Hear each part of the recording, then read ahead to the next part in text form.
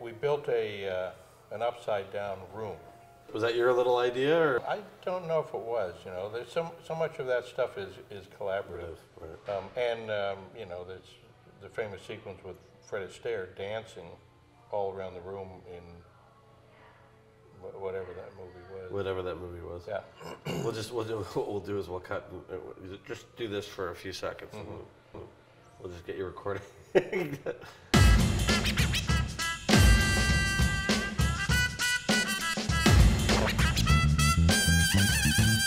What's interesting is the the uh, the industry typically, particularly the studios, the executives, they want to pigeonhole everybody who works in the business to a certain degree.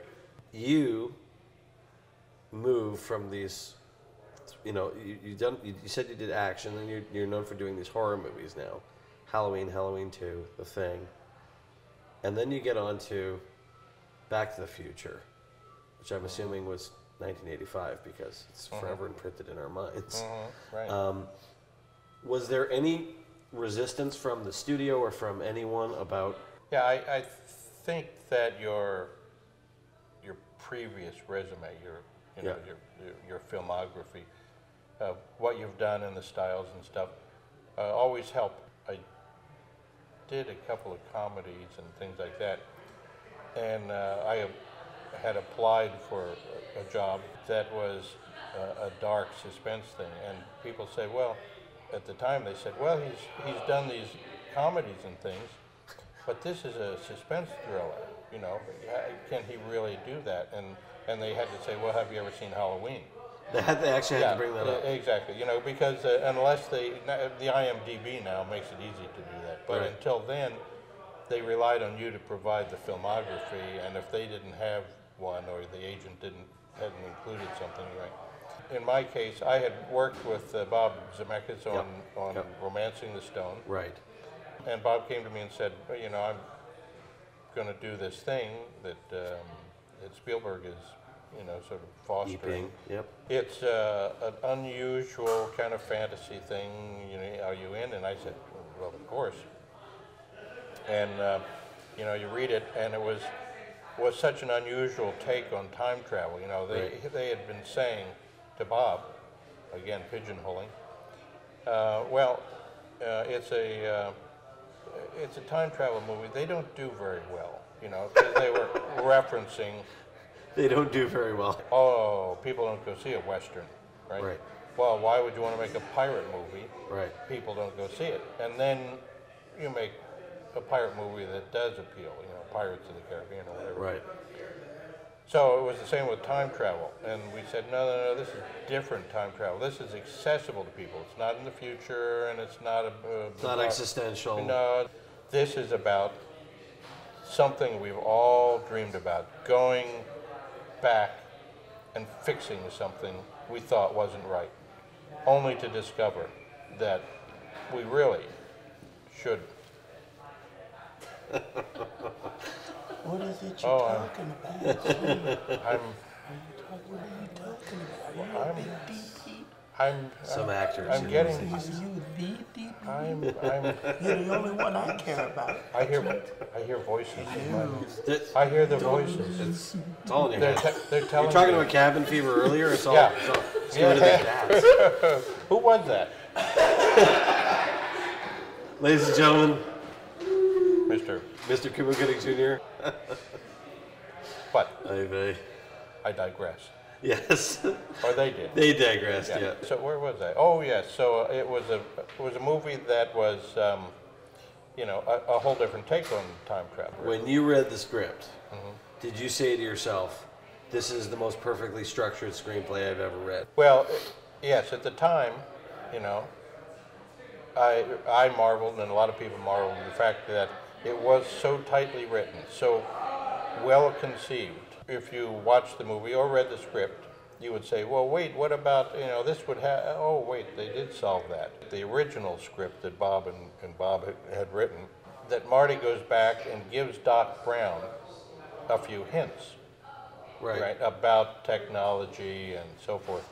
What occurs is Doc invents some things, becomes a big successful guy uh, in science and in- industrial design or, you know, technology, whatever, and the present, you know, that, Yep. that Marty goes to, is the same one that I remember in Popular Mechanics magazine in the 50s and 60s, which is, by now, we're all in flying cars. Right, exactly. All of the technology that they claimed was going to happen uh, back in the 50s, Doc has made it come true.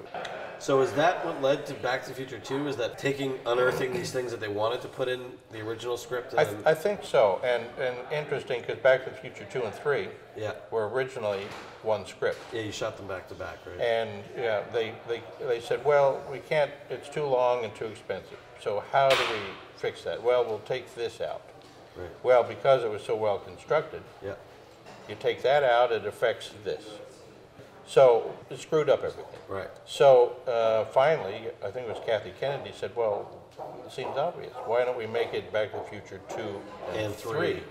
And we will get two movies for the price of one and a half. And we'll all get paid a little more. Well- not a bad thing. Yeah, yeah, I, I don't remember that part. But, but, well, Back to the Future 2 is a darker version, but it was necessary for the journey to get to 3, Right. the Old West and the happy ending.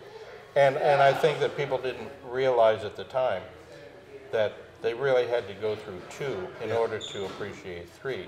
Now, if you watch it as a trilogy, you can see how Perfect. perfectly, you know, structured and calculated everything is. you know. Right. I just want to ask about one little thing and say, mm-hmm. how did you do it? How did you have to put that together, special effects wise and photography wise? Mm-hmm. And how would you do it today? Which is Doc showing Marty about you know how the how the machine works, the DeLorean works.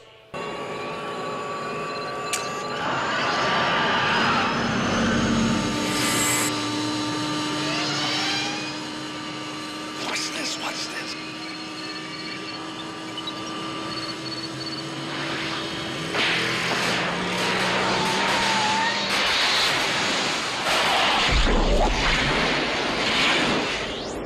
How did you shoot that then? Well, we went out to the mall, Yeah. had a, a car, the DeLorean, Yeah. drive at presumably 88 miles an hour, Right. probably closer to about 30 or 40. It would zoom past the camera. And then we had a, a special effects guy, Kevin Pike, who would, um, he had built this rig that sprayed a flammable liquid on the pavement and light it, and those tire tracks were actual real flames. Then we shot a um, uh, Marty and Doc on a blue screen Yep. so they could be composited into that shot. Now, you know, you'd, you'd have several options, which are, are things like you would, um, you know, just shoot them uh, reacting at the mall, and then the visual effects people Would would paint add the the- flames. Right. Right. You'd build a digital car. Pretty commonly now for car commercials and stuff, you know, they're they're digital cars, and they look pretty real. Action films require a tremendous amount of digital Assets. cars and Yeah. and things that roll and blow up right next to the star that you wouldn't dare put a rolling, bl- blowing up car next to. Whereas when you were starting out, you'd think nothing about killing a star. It, it was the price of, of uh, To making success. yeah, you know, making a and good I, yeah. I rely, uh, rely now, my career is built around how many guys I killed. Right. With with rolling cars. Exactly. Yeah. Those were the good Uh, old days, though, right? Oh, you know, the, there was no lawyers, insurance companies, any of that stuff. Which is why films have become big, elaborate, you know, comic book and action adventure. Right, right. Because, um, Do you miss the practical stuff? well, uh, to a certain extent, yeah, because, um, you know, yes, it's easier, you know, and sometimes more effective to do it digitally. But, um, you know, the, with that comes the price of, uh, often that it's all about the spectacle. You know, there's an awful lot of films that people now are complaining that they don't feel empathy for the characters. Hello? Hello, anybody home? Oh. Huh? Think, McFly. Oh.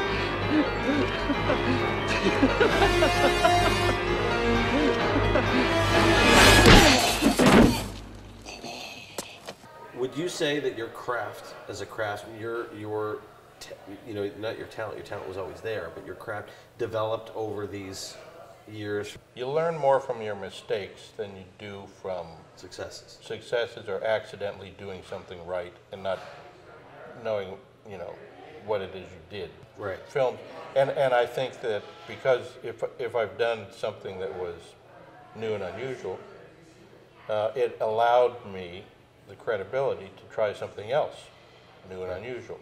Roger Rabbit was, um, you know, the- one of the last pencil on paper, ink and paint on cels animation films made. The technology was, you know, kind of simplistic. Uh, now you can do computer generated anything and the characters can handle, you know, objects. In those days, you had to manipulate an object, puppeteer it in such a way that they could cover the rod or whatever held it with the animated character. It required a great deal of thought, great deal of technique, great deal of everything. And, uh, and, and it's one of the hazards, I think, of what we do. You know, Jurassic Park, the very first movie that used photorealistic, computer-generated creatures had The entire that. country with their jaws to their Right. chest Um, in and- theaters. And now, you know, you can do that in your, in, you know, basement. Basement uh, for four with- for yeah, four ninety five with the software you stole. Exactly, but in those days, you couldn't do it. Is this your first time working with Steven Spielberg as a director, by the way? Uh, I no. done Hook. I'd done Hook before with Right. him directing, and at the end of it, he said, uh, "So, uh, well, it's been fun working," and I thought, "Well, this is goodbye."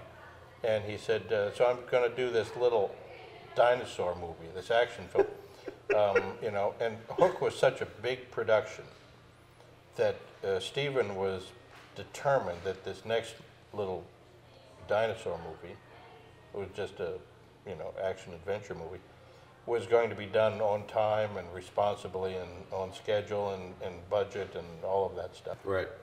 The genesis of this whole thing was that originally the dinosaurs were going to be stop motion or go motion.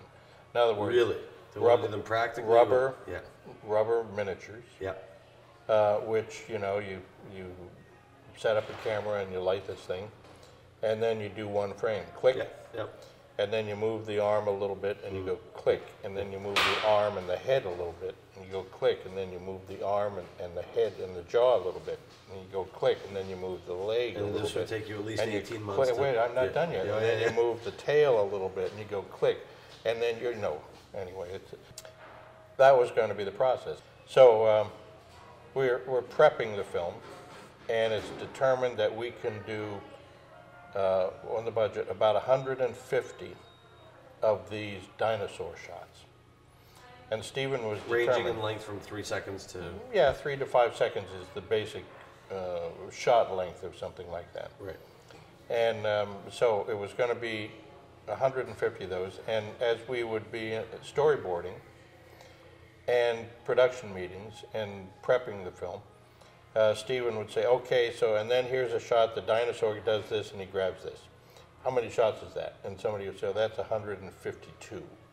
He'd say, oh, oh, no, no, okay, so let's see what we can eliminate. And he would go back, you know, and very carefully budget himself for the 150 shots. This is something that people need to hear. That you know, even you know, you're talking about a master filmmaker, height of his game, Right. and he's still he's still trying to Still trying ratchet to down. yeah, the- yeah. get the, the most out of it and be a responsible filmmaker. Because, you know, what we do um, in making a film is not just we go out and do what we want, but you have to learn to juggle how to do it within a certain time limit and for a certain budget. Right. Well, as we're just uh, in the prep, and he's talking about how many shots, Dennis Muren from Industrial Light and Magic, uh, George Lucas's special effects company, comes to a meeting and he says, "You know what? We can do this in the computer. We think." And uh, everybody says, "Oh, really? Well, let's see the, uh, you know, your test." He said, "Well, we don't have any yet, but next week." So goes away, comes to the production meeting the next week, and there's some video of a dinosaur wireframe moving. And you look at it and say, well, that looks pretty real. That's a good run. You, you sense the, weight physics, of the tail, yeah. you know, and the head moving. You say, that's really good. Steven says, well, now let's see what, uh, what it looks like with the skin on it. And they say, oh, we haven't done that yet. but I'll, I'll But be- you're getting closer to shooting the movie at yeah. this point. He said, I'll be right back. So a week later, he brings one, and it's got a gray skin. It looks like it's made out of clay, but it's kind of flat. Right. The no texture or whatever. Yeah. So wait right here. I'll be right back. A week later, they come back, and it's lit. It runs through some shadows and stuff. And Steven says, "Okay, you, you convinced me. We'll commit to this." We started the movie without knowing whether it would really work Right. but we were all dedicated to making it work. Um, so we we devised all these tricks, and and uh, about half of it is rubber puppets. Right. So the the task of the CG guys, the computer guys, was to make the computer stuff match the real life puppets, which had skin and texture and lighting and all that stuff. So I would I would light it for the best look on the rubber, uh, which requires uh, the what I had learned on the thing, which is you don't just flat light it. You've got to little spots and Contour. reflections, and, and and then the CG guys did an amazing job of matching Uh huh. to the puppets. There was the the raptor in the kitchen scene, that famous kitchen Yeah. sequence with all That's the steel. one of my favorite sequences in in that movie and almost any movie Yep. I've done.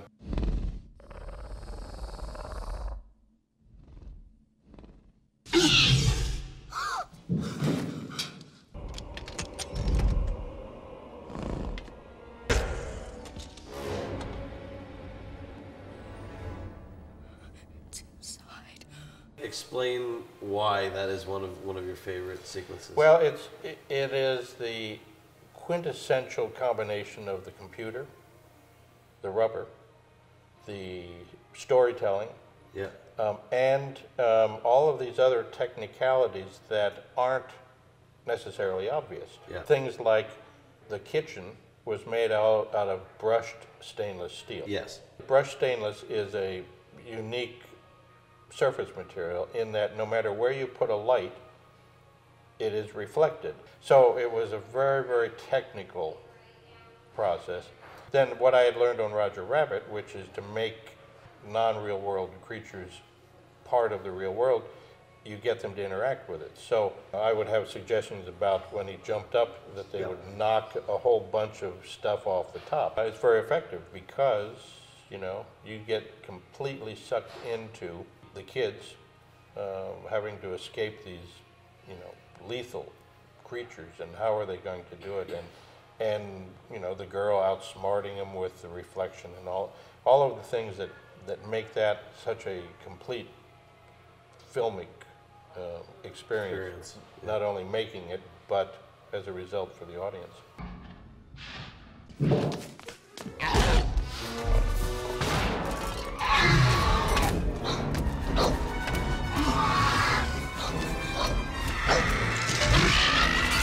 I recently heard something Yeah. that was uh, meaningful to me. Um, and it actually comes from a musical I had just seen in New York. Um, it's wonderful when the life you wish for comes true. Yes. I've been fortunate. Dean Cundey, thank you for joining us. Yeah, my pleasure. Thank It's you It's a real very much. pleasure to have you.